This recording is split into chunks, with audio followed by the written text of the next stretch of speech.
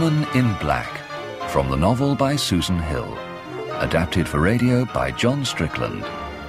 Episode 2 A Causeway and a Pony Trap. You may leave me here, Mr. Kipps. My office is just above the shop, thank you. You are most welcome, Mr. Jerome. Although, are you quite sure you're recovered? You didn't seem at all well back there at the churchyard. I've already apologised, Mr. Kipps. I assure you it was nothing.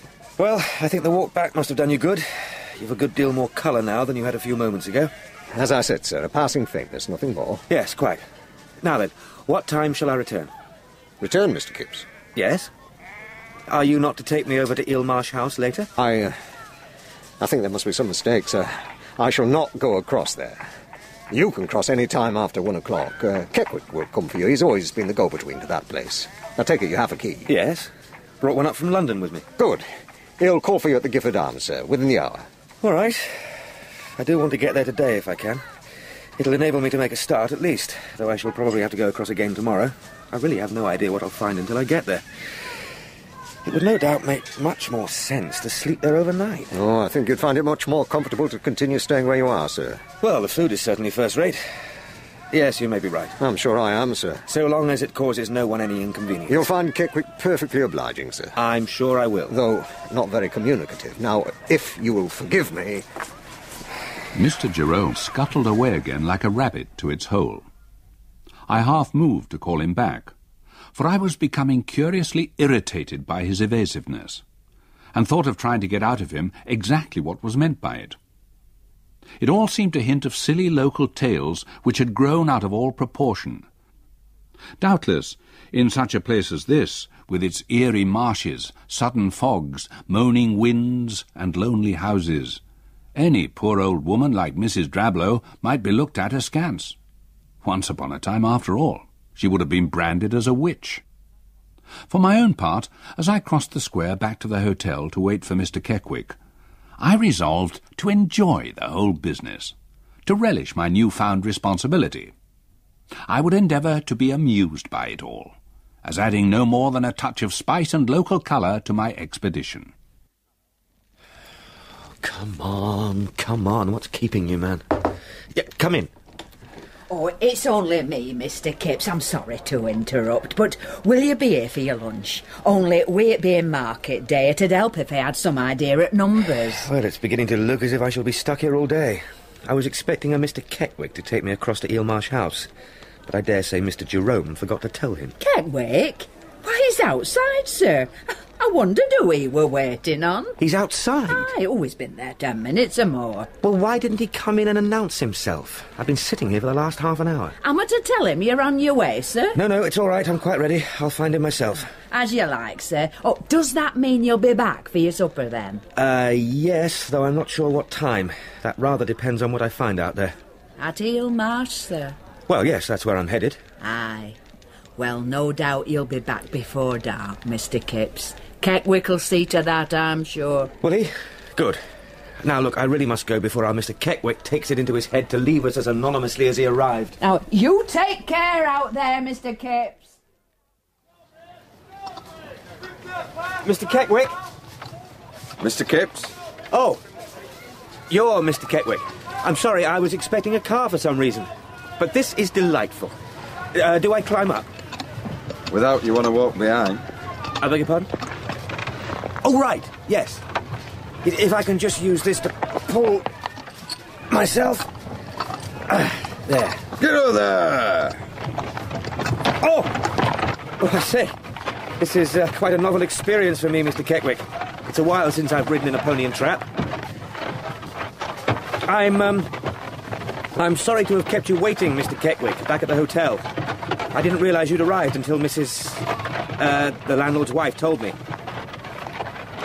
You see, I'm afraid you were sitting outside and I was sitting inside, both of us twiddling our thumbs for a good ten minutes. Still, no matter. It's a beautiful morning. At the time of year. Should be good for business today. Ah. Ah, it's the church again. This is the second time I've seen it today. I was at the funeral this morning. Mrs. Drablow's. It all seemed to pass off fairly uh, smoothly, solemnly. Not that there was actually a very large turnout, just one mourner. Apart from Mr. Jerome and myself, of course. In fact, you might be able to help me, Mr. Keckwick. You see, I wasn't able to speak to the young lady at the time, or indeed even to find out her name. But perhaps you might know her. She was fairly tall, slim, dressed entirely in black and of the most gaunt appearance. In fact, I would have to say that she looked quite desperately unwell. I can't imagine there is another in the town who looks like her. Would you have any idea who she might be? Go on, get on there! Keckwick was marginally more taciturn than Mr. Jerome, if that were possible. He was certainly not to be drawn on the identity of the mysterious woman in black, and I very quickly abandoned all attempts to engage him in conversation.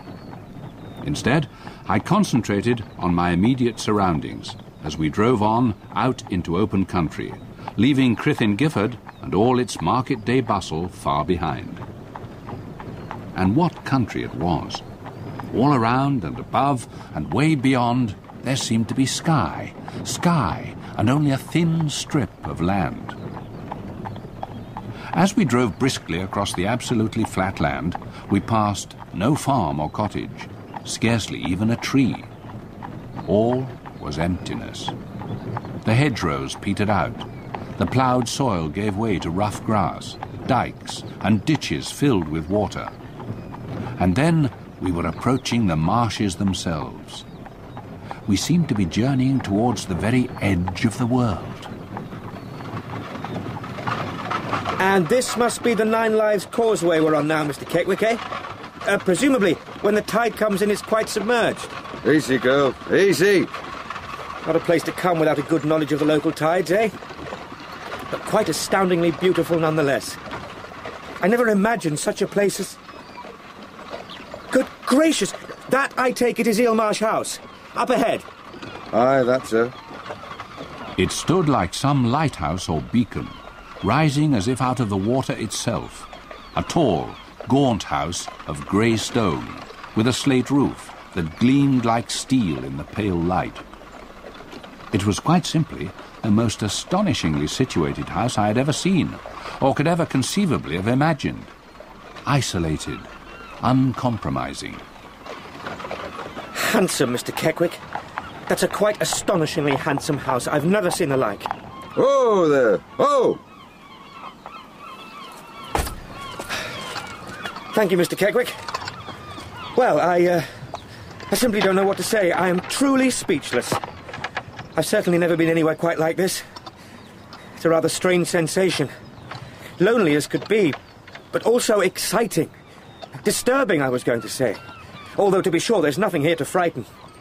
There's not much here at all, Mr. Kipps. Indeed. Wind, marsh birds, reeds, and still water. It's a rare and beautiful spot. I can hardly wait to explore the place. Sorry. Sorry. I was quite transported for a moment. Um, how long will that causeway remain passable? Till about five. Oh, is that all? Well, listen, it'll be quite ridiculous for you to be driving to and fro twice a day like this. I think the best thing will be for me to bring my bags, and some food and drink, of course, and stay over a couple of nights. Stop here. Oh, yes. It seems the most sensible course of action. So for now, I'd simply like you to collect me before the tide comes in this afternoon, and then tomorrow morning bring me back out here as early as possible. If you are agreeable, that is. It's not for me to be agreeable. Or you perhaps prefer to wait here for me now, though I shall be a couple of hours. You know what suits you best. Getcha!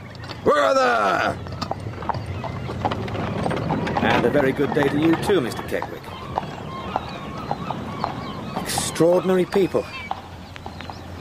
I think you may have had the right idea, Mrs. Drablow. Staying out here as far away from them all as possible. Now then, let's have a look at exactly what Eel Marsh comprises. I walked away from the house, across an area of scrub and field, towards the ruins of some old church or chapel, which I'd noticed earlier as we approached the island. To the west, the sun was already beginning to shoot arrows of fire and blood-red streaks across the water. To the east, sea and sky had darkened slightly to a uniform leaden grey. Behind the crumbling arches of the derelict chapel was a small burial ground, enclosed by the remains of a wall. There were perhaps fifty gravestones, most of them leaning over or completely fallen, covered in patches of greenish-yellow lichen and moss, scoured pale by the salt wind and stained by years of driven rain. No names or dates were now decipherable, and the whole place had an air of decay and abandon. Well, perhaps on a warm summer evening it's altogether different. But for now, Mrs. Drablow, it's about as bleak and eerie a place as I can think of. It's time to go inside, I think. Oh! I'm sorry. I didn't mean to disturb your nest, whatever you are. Is there such a bird as a sea vulture? Yes, you really are enormous and very ugly. I don't. You. How on earth did you. It was the young woman again. The young woman from the funeral. She was standing at the far end of the graveyard, wearing the same black dress and bonnet. She was standing quite motionless, staring directly at me. Good afternoon. I do apologize for surprising you like this. My name is Arthur Kipps. I'm from Bentley Haig, Sweetman and Bentley. Mrs. Drablow's solicitors in London. Obviously, no one informed you that I would be coming. And still she stared at me, with that expression of. I can only describe it as an expression of desperate, yearning malevolence. It was as if she was searching for something, something which had been taken from her, and towards whoever had taken it, she now directed the purest loathing, hatred, the purest evil. Towards me.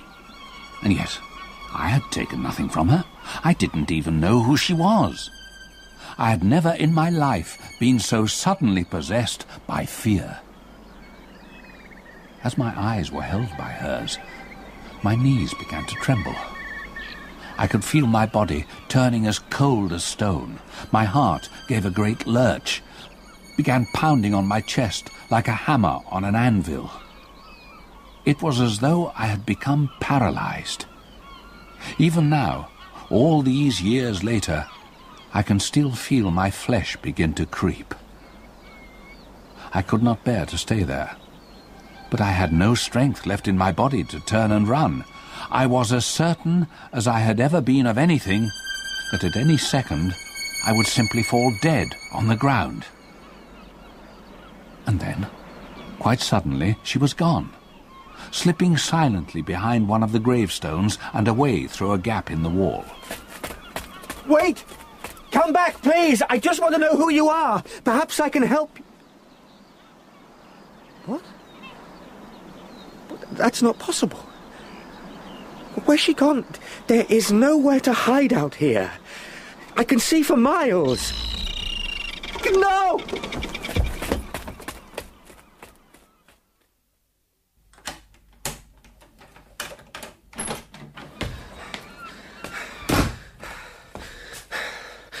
Who is she?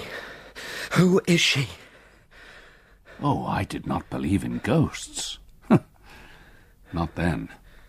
And yet, in the desolation of that burial ground, in that peculiar fading light, I had just seen a woman whose form was in some essential respect ghostly. She had appeared and then vanished in a way that no real living human being could possibly manage to do. But I could have touched her. I saw her quite clearly. She was there. She was real. No. No, I do not believe in ghosts. There's an explanation for this. Somewhere in this old house there is an explanation. Hello? Hello, it's, it's Arthur Kipps again. I didn't mean to startle you just now.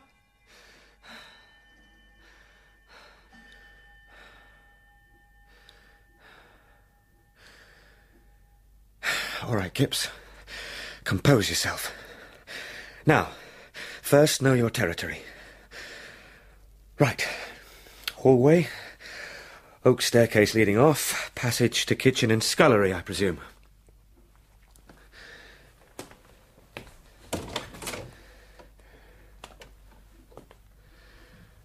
Drawing room.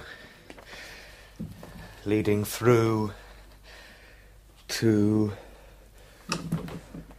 sitting room, dining room, all with a rather musty, sweet, sour smell. Though I suppose that's hardly surprising. It must have been shut up for some time now. There was nothing dramatic or unpleasant. The furniture in each room was old-fashioned but good, solid, dark. Many of the rooms had clearly not been used for years. The whole place was curiously impersonal. The furnishings, the ornaments, the decoration, all dull, gloomy, and rather unwelcoming. Here was nothing elegant, nothing that spoke of individuality or taste, nothing to give me the slightest clue as to the identity of the young woman in black I had now seen in two separate graveyards. Small parlour and study. None of it quite to your taste, I'm afraid, Stella. Perhaps we won't move here after all. Now then, what precisely is inside all these cupboards and drawers? Oh! My goodness! It was a cascade of old papers.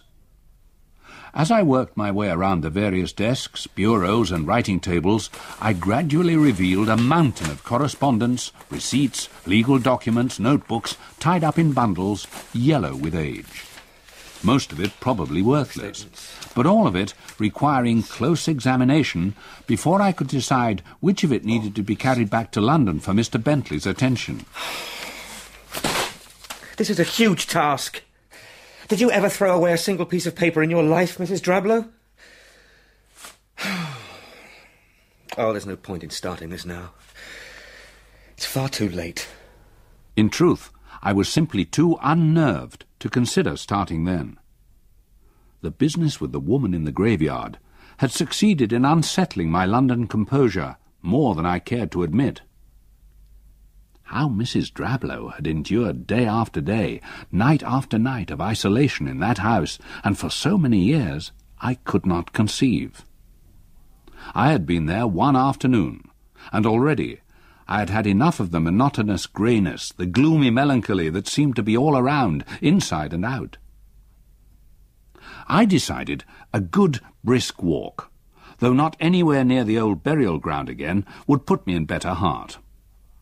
It would be another hour before Keckwick returned for me, and if I stepped out well, I knew I would either reach Crythin Gifford in time to save him turning out at all, or, at the very least, meet him on the way. Well, at least there's a good supper waiting for me at the Gifford Arms. On the causeway path it was still quite dry underfoot, although to my left I saw that the water had begun to seep nearer, quite silent, quite slow. I wondered how deeply the path went under water when the tide was right in. Although on a still night such as this, I knew there was plenty of time to cross in safety, even though the distance was greater on foot than it had seemed when we trotted over in Keckwick's pony cart. Come on, Kipps. Step out. Step out. Once or twice I glanced back over my shoulder, half expecting to catch sight of the young woman following me. Perhaps she would catch up with me, explain that the shock of seeing me so unexpectedly in the burial ground had made her shy, but that now she had fully recovered, and please, would I not return with her and join her for a cup of tea whilst we waited for Mr. Keckwick in the warmth? By now, I'd almost persuaded myself there must have been some slope or dip in the ground into which she had concealed herself earlier, before returning to some lonely dwelling tucked down out of sight. After all, I'd not actually searched for her hiding place, but merely glanced around and seen nothing. And the changes of light in such a place can play all manner of tricks. As indeed was being proved to me at that very moment. For peering into the greyness ahead, it seemed to me that the end of the causeway was receding from me the further I walked towards it. Very soon, I could not actually see my goal at all. It's a sea fret. The sea fret Mr. Daily told me about. Almost without me realizing, a thick, damp sea mist had rolled over the marshes as I walked, and enveloped everything myself, the house behind me, the causeway ahead. This is quite absurd. I can't, I can't see anything. It was choking, thick and salty, moving in front of my eyes. I felt confused, teased by it, as if it were made up of millions of live fingers that crept over me, hung on me, and then shifted away again. I'd better go back. Uh, wait for this to clear. I'm sure Mr. Daily said they lift as quickly as they fall. Oh, God, where's the path? I should have brought a torch. Help! Can anyone hear me?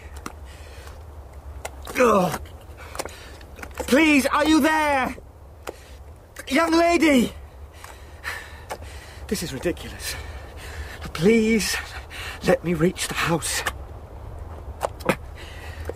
Can anyone hear me? I need help! Help!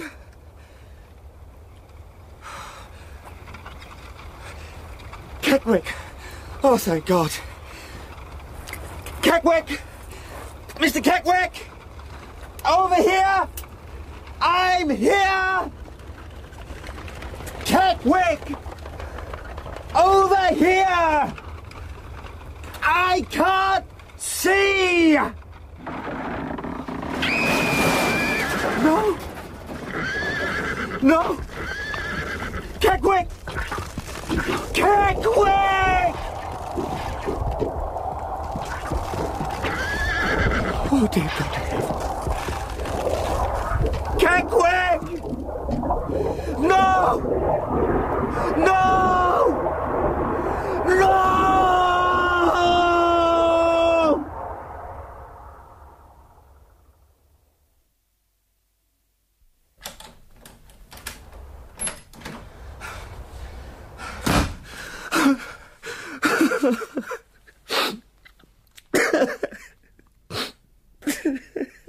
To this day, I couldn't tell you how I reached the house, or how long I lay there in the hallway, weeping in an agony of fear and frustration. I had heard, beyond any doubt, the terrible last sounds of a pony and trap. A pony and trap carrying a child, as well as Keckwick, struggling desperately as it was sucked under by the quicksand. And I'd been able to do nothing, nothing, but stand and listen as those poor creatures slowly choked and drowned in the mud and water. I do know that eventually I was able to pull myself together sufficiently to go about the house switching on every light I could make work, hoping, against all reason, that it would be seen like a lightship by someone, somewhere across that dark, misty wasteland. Every room I went to was orderly, dusty, bitterly cold and damp, yet also somehow stifling. As I moved around the house, I grew more rather than less agitated. I began to be angry at Mr. Bentley for sending me here, at my own foolishness in ignoring all the hints and veiled warnings I'd received about the place. And when I came to one door, the only door that was locked, with no keyhole, no bolt on the outside, I'm afraid my anger exploded.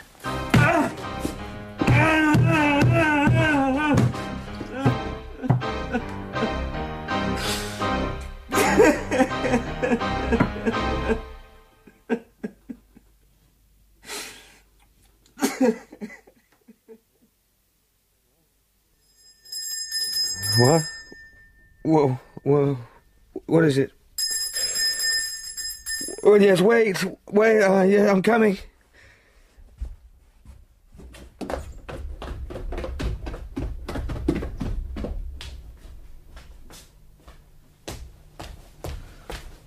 Who is it? Who's, who's out there? Mr. Kipps? Keckwick? No. You have to wait for a fret like that to clear itself. No cross it over while the fret's up. Unlucky for you, that were. Keckwick? How did you. After that, there's the wait for the tide. Awkward place, you'll be finding that out fast enough. What, uh. What time is it? Two. In the morning? It can't be, I haven't slept that. I, I was trying to attract attention. With the lights. Wouldn't have left you over the night, wouldn't do that to you. No, no, thank you. I'm most grateful to you. Aye. But what happened to you? How do you manage to be here? How did you get out? Best climb up, Mr. Kipps. It wasn't you, was it? Out there on the marsh. It was someone else. Who, Mr. Keckwick? Who in their right mind would have been driving out there on a night like this and with a young child? Who was it? He's wanting to get home, Mr. Kipps. Yes. Yes, I, um, I must lock up the house before.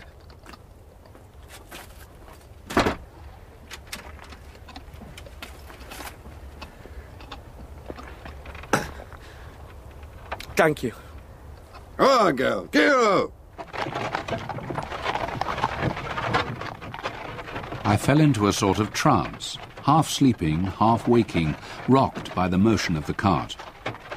I knew that I had entered some hitherto unimagined realm of consciousness, that coming to this place had already changed me, and that there was no going back. I had seen things I'd never dreamed of seeing, and heard things too. I knew then that the woman by the graves had been ghostly, and I began to suspect as we crossed the now quite clear causeway beneath the riding moon that the pony and trap I had heard out on the marsh, the pony and trap with the child who had cried out so terribly and which had been sucked into the quicksands, they too had not been real, not there, present, substantial, but ghostly also. Oh, what I had heard, I had heard. What I had seen, the woman with the pale, wasted face by the grave of Mrs. Drablow, and again in the old burial ground, I had seen. I would have sworn an oath to it. And yet, they had been, in some sense I did not then understand, unreal, ghostly, things that were dead. Come on now. Get up.